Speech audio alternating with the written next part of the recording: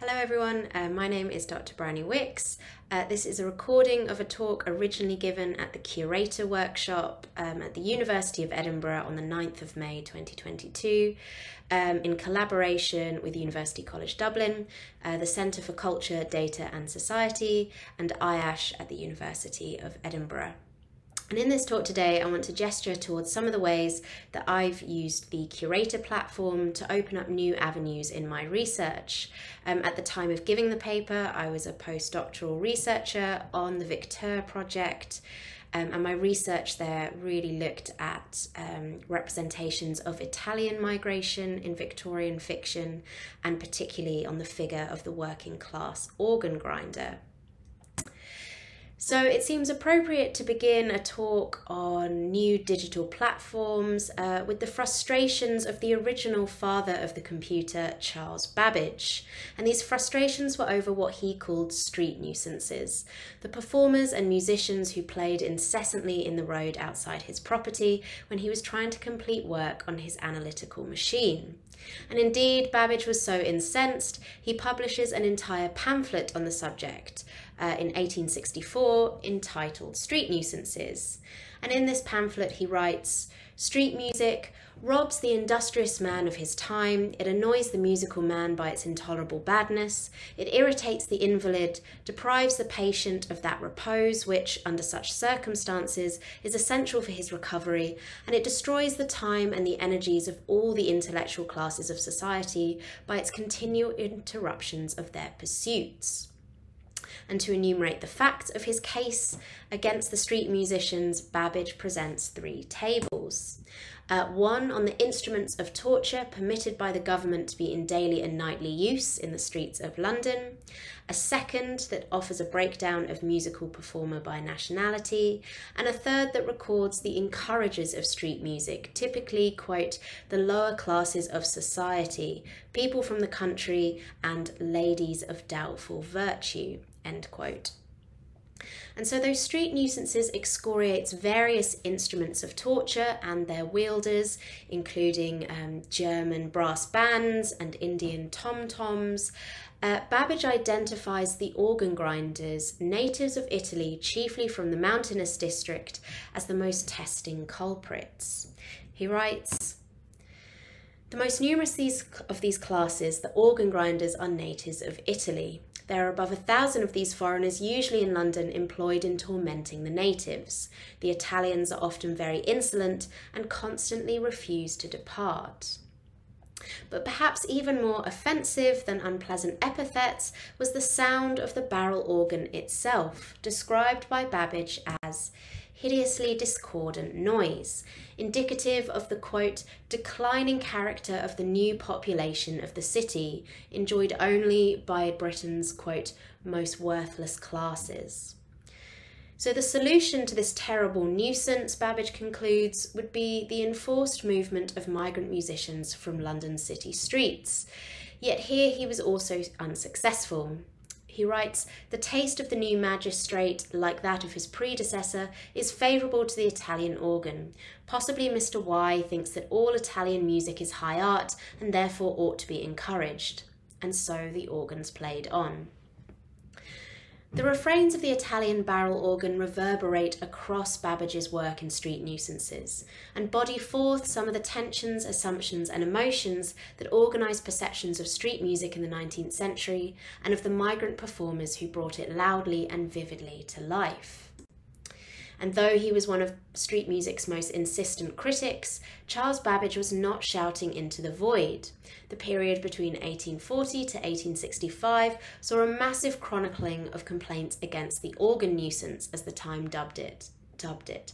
Uh, co-signed by some of the most prominent figures of the age Charles Dickens, Alfred Lord Tennyson, Thomas Carlyle, Wilkie Collins, William Holman Hunt, and John Forster and in turn, the blame for the nuisance was overwhelmingly attributed to foreign migrants, particularly working class Italian men. The satirical magazine Punch, for example, as Anne Marie McAllister has shown, ran a particularly vicious campaign against Italian organ grinders during the 1850s and 1860s, publishing articles with titles such as Italian Persecution, Our Organ Grinding Tyrants, and Popish Organ Nuisance, alongside xenophobic cartoons that depicted Italian organ grinders as unsanitary and unscrupulous, with ragged clothes and simian features. The campaign for the control of London's sonic environments, as it is waged by Babbage, Dickens, and Punch magazine, operates along class driven, ethnic, and racialised lines. Yet it also draws attention to the historical relations between sound and power. Noise, as Jacques Attali theorises, is always already politicised. The control of noise and the institutionalisation of the silence of others assure the durability of power. For this reason, musicians, even when officially recognised, are dangerous, disturbing, and subversive. So Attali raises the insurgent potential of sound, particularly when it is generated by unregulated groups perceived to be foreign outsiders. Yet conceived as meaningless noise, the music of 19th century migrants has also been prone to distortion and abstraction. Defined against the industrial intellectual economy of British brainwork, foreign noise is rendered as defective labour, a fault in the machine that deviates from and resists productivity, and that can corrode social systems altogether.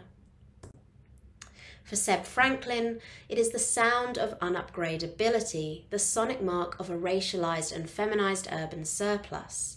Organ grinders and their encouragers are figured in 19th century discourses as a non value mediated population, and as such, Franklin argues, are objected and street music is likewise attenuated, no longer seen as a practice with potential community building or life making aspects, but posed as mere aesthetic formlessness.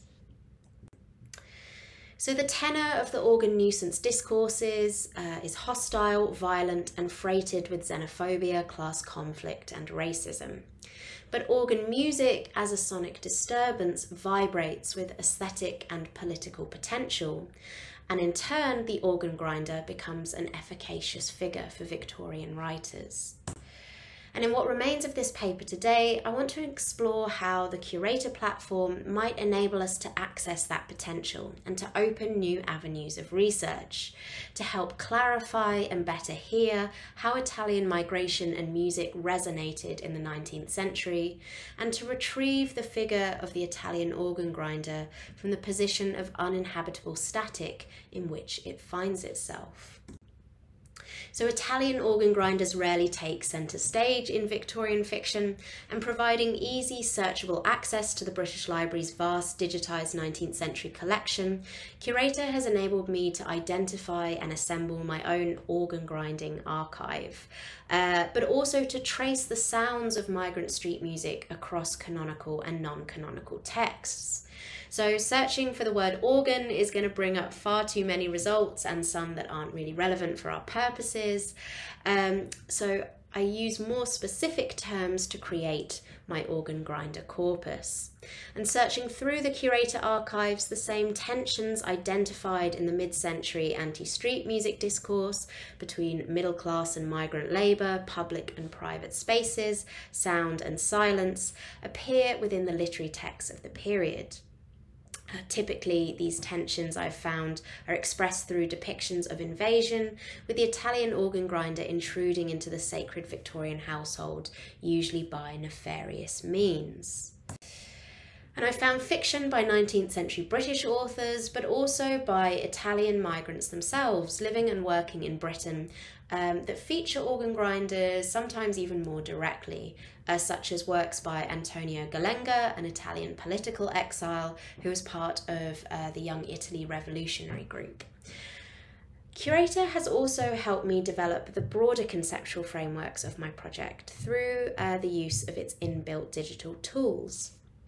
Uh, for example, one notion that kept appearing throughout my research into Italian migration was that organ grinders was perceived to be nuisances. So we see that word nuisance appearing in Babbage's work as the title of his pamphlet. Uh, it's in various newspaper headlines and in Punch magazine articles, um, but it also occurs even in contemporary academic writing. Uh, Lucia Sponza, for example, in a study on 19th century Italian economic migration, argues that Italian working class migrants were an unusual case. In contrast to immigrant groups, Italian workers did not typically compete with Britons in the labour market, and their numbers remained fairly low. So the hostility and the clamour of the anti street music debate seems disproportionate, and offering an interpretation, Sponza asserts the Italian working class migrants brought their original trades with them or set up independent and exotic activities. Their numbers steadily increased but never reached the massive level of the Jews. Their presence, therefore, both in qualitative and quantitative terms, was normally regarded as a superficial nuisance. So, as Sponza's discussion suggests, anti Italian sentiment during this period was more complex than a response to a perceived foreign other. Instead, it appears to be jointly activated by the perception that 19th century Italian migrants were nuisances, a word used perhaps unintentionally here by Sponza, but one that, as I've said, reoccurs throughout um, these various historical and contemporary discourses. So, what does it mean to be a nuisance in the 19th century?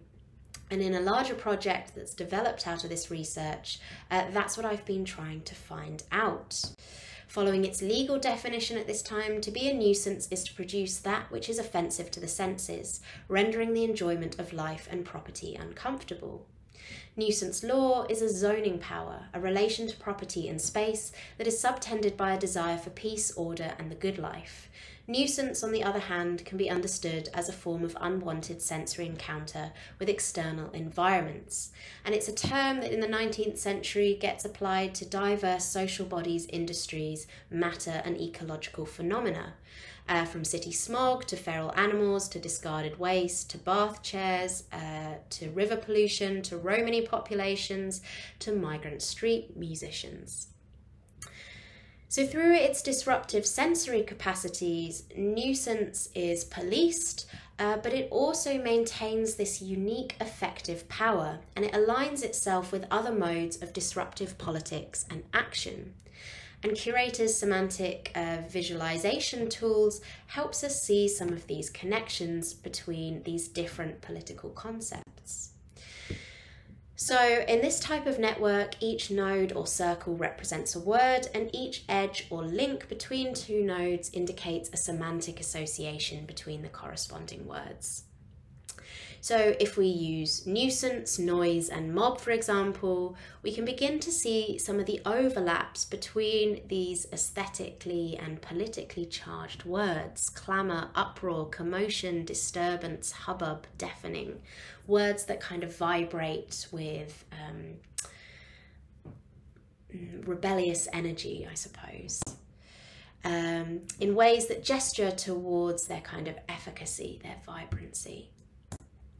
Uh, similarly, you can replace nuisance with hurdy-gurdy, which is a specific kind of barrel organ, and we begin to see even more intriguing associations.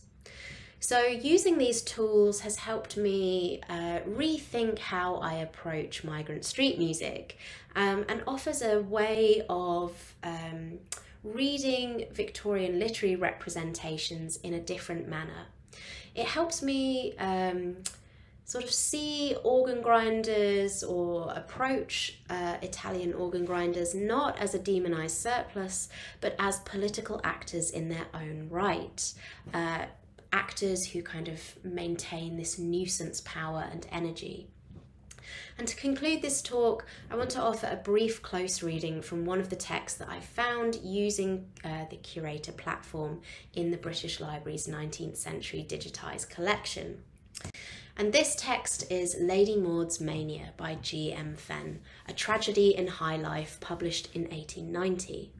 So Fenn's work is little read now, but in his time he was a prolific literary author, most known for writing juvenile adventure fiction. Set in London amongst uh, British high society, Lady Maud's mania is somewhat of an outlier in Fenn's literary oeuvre, focused not on the outward journeys of boy heroes to the colonies, but reflecting instead on the inward movements of European migrants into Britain and the effect that these migrations have on Victorian social life. As its subtitle suggests, Lady Maud is a social satire written in the melodramatic mode. Music is thus an integral part of its narrative rhythm, content, and structure. But the novel's music is not generated by a sumptuous Victorian orchestra, but instead by a barrel organ wielded by a handsome Italian organ grinder named Luigi Malsano. And from the outset, the novel signals Malsano's complex role and the importance of migrant music making. Lady Maud is bookended by the sounds of organ grinding, registered in its opening and closing dialogues. Confound those organs, said the Earl of Barmouth, and frustrate their grinders, cried Viscount Dipfus. They are such a nuisance, my boy. So, Fenn repeats this framing strategy throughout the text, with several chapters beginning or ending with barrel organ music. This pattern recalls the repetitive nature of organ grinding itself, evoking the instrument's mechanical loops, which in turn contributes to the novel's claustrophobic atmosphere. Yet organ music also proves to be a generative affect in the text, providing a sonic structure that connects the closeted action of the upper class domestic space with the vibrant social worlds outside. And immediately the novel raises the pervasive quality of sound and its nuisance potential, referenced explicitly here in its opening lines. They are such a nuisance, my boy but in a way that actually ends up calling attention to the artificial nature of Victorian social codes. So, the event that Malsano's music intrudes upon is the forced nuptials of Maud's sister Diana to a wealthy colonial administrator. And after these nuptials, a melancholy Diana is described as being carried towards Charing Cross en route for Brindisi, the Suez Canal, India, right away out of the country and out of this story. So, in its very first uh, chapter, marriage is presented as a form of social and economic mobility, but one that can also be disorienting. Juxtaposing the faux harmony of the wedding and the wedding bells with the tinny strains of the Italian barrel organ playing outside uh, the room. Uh, the novel stages an opposition between emigration and immigration, absence and presence, female and male, and questions the authenticity of such binaries. Malsano, the organ grinder, though a foreign nuisance, nevertheless maintains his agency, and he remains present in the narrative. Diana, the new bride, on the other hand, disappears and is forever silenced. So, the intersections between gender, sound, and power in the novel are also explored in the later relationship between Luigi Malsano and the eponymous Lady Maud. Having been placed under house arrest by her family, Maud finds comfort listening to Malsano's organ music, which he plays under her window every day. So, through song, the novel parodies the sanctity of the Victorian domestic space and reroutes the directionality of British familial and class driven power dynamics. Malsano's uh, barrel organ eventually becomes Maud's obsession, the focus of her titular mania, and she appears to be experiencing a kind of mental breakdown through her domestic imprisonment. Here, Fenn prefigures themes evoked in Charlotte Perkins Gilman's uh, famous The Yellow Wallpaper, uh, but it is the uncanny repetitions of the barrel organ that come to symbolise the oppressive structures of society rather than repeated patterns of the, on the wall. Additionally, Maud's frustrations align with the nuisance power of the barrel organ, wasted, vibrating female energy full of insurgent potential, but limited by crushing social expectations and rules. Importantly, however, it's the music of the barrel organ that actually presents Maud with a way out of her predicament. Using the refrains of particular songs as a secret code, Maud and Malsano plot her escape. She absconds from her family home, dressed in Malsano's organ grinder's garb, and elopes with her English lover to Italy. Wearing the costume of the Italian organ grinder, Maud dons the mobility of the migrant figure, moving through the streets and across gendered, class driven, and eventually geographical boundaries. Foreignness is likewise shown to be a malleable concept, something that one can co opt in order to ex- uh, escape social regulations, in turn, exploding the notion that to be a nuisance is limited to one ethnic or social identity. Eventually, however, social order is restored, and at the end of the novel, Maud and her new English husband are discovered in Italy, and her family gives them their blessing. Malsano, the organ grinder, makes no further appearances, and yet Italian barrel organ music can still be heard in the novel's final lines. Reconciled here as music rather than nuisance, street music appears to signal future harmony for Maud and her family and acts as a curtain call for Fenn's melodrama in high life. Just then, an organ sounded in the square, and his lordship stopped his ears. No, no, governor, it's only music, and I like that. Here's Maud, Viscount Dipfuth said, filling his glass, and may she never more be mad by deploying the sounds of the barrel organ in such a way, um, the novel recalls the opening marriage plot. Uh, and in turn, it therefore concludes on a rather ominous note rather than a happy ending. Though Maud has married a man that she loves, ultimately the marriage will put restrictions upon her life, and her freedoms will never be as great as the unchecked mobility she experienced in the guise of the organ grinder. The uncanny continued loops of the barrel organ thus raise the superficiality of the novel's happy ending and suggest that Maud might nevertheless be stifled in her new existence. Street music thus maintains its disconcerting nuisance power, its refusal to remain silent, and in doing so, it exposes the uneven rhythms of 19th century social life. In turn, the Italian organ grinder is also mobilised and he's mobile, shifted from a position of relative liminality on the streets into the reverberating heart of Victorian text. Thank you.